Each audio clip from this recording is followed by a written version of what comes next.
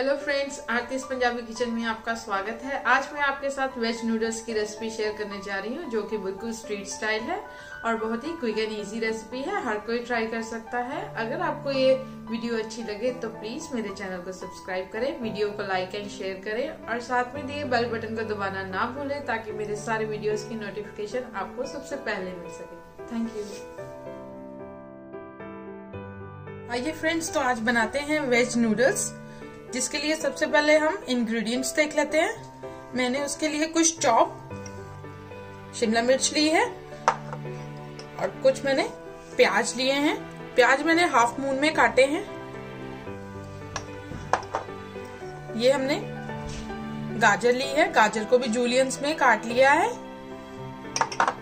और ये कैबेज और ये कुछ स्प्रिंग ऑनियन के ग्रीन पार्ट्स और मैंने ऑयल लिया है वेजिटेबल को फ्राई करने के लिए।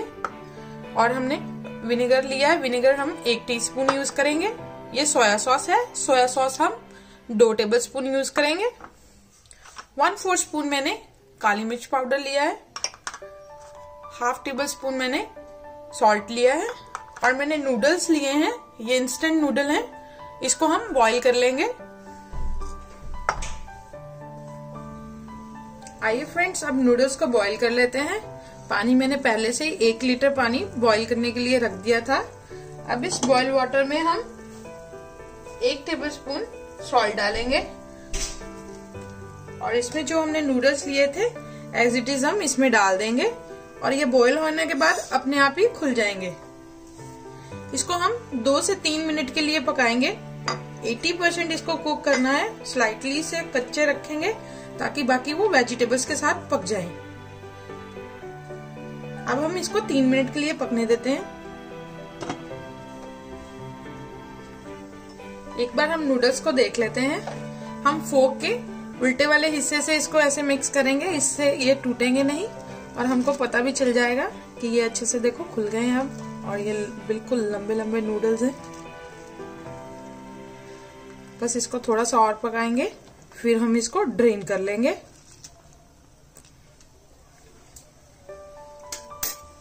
देखिए नूडल्स अब हमारे अच्छे से पक चुके हैं।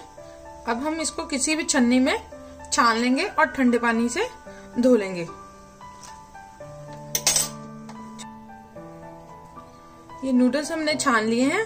अब हम इस पे थोड़ा सा ऑयल डाल देंगे और ऐसे हाथ की मदद से इसको मिक्स कर देंगे ऑयल को। ताकि ये आपस में चिपके नहीं। पैन को मैंने हीट कर लिया अच्छे से। इसमें अब हम तीन से चार टेबल स्पून ऑयल डालेंगे। अब हम इसमें अनियन डालेंगे। अनियन को हम थोड़ा सा फ्राई कर लेंगे। इसको बिल्कुल भी गोल्डन नहीं करना है। वेजिटेबल्स को ज़्यादा पकाना नहीं है। इसको सिर्फ़ ट्रांसपेरेंट होने तक पकाना है। चाइनीज़ में वेजिटेबल्स थोड़ी कच्ची कच्ची अच्छी लगती हैं। एक मिनट तक इसको सॉटे करने तक। बाद में हम इसमें ये गाजर डाल देंगे।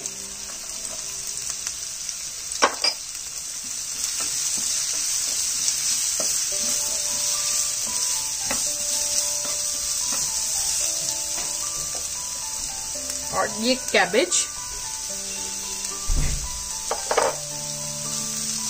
वेजिटेबल आप अपने हिसाब से कम ज़्यादा कर सकते हैं। और ये ग्रीन चिली आप इसमें शिमला मिर्च रेड और येलो वाली भी डाल सकते हैं। मैंने ग्रीन वाली ही डाली है। सब्जियों को हम एक दो मिनट के लिए सोटे करेंगे। वेजिटेबल हमारी सोटे हो चुकी हैं। अब हम इसमें सॉल्ट डालेंगे। सॉल्ट आप अपने टेस्ट के अकॉर्डिंग डाल सकते हैं। मैं आधा टी स्पून डालूँगी।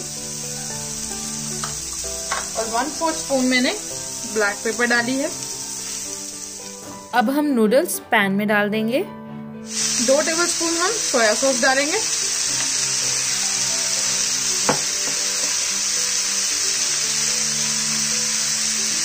अ पिंच ऑफ़ विनेगर एक टेबल स्पून ही डालें अब हम नूडल्स को मिक्स कर देंगे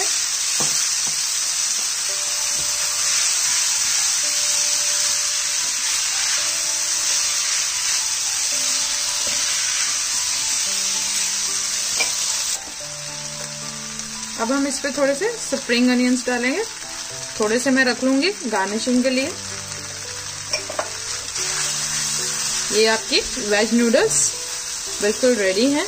आप इसकी अब प्लेटिंग कर सकते हैं।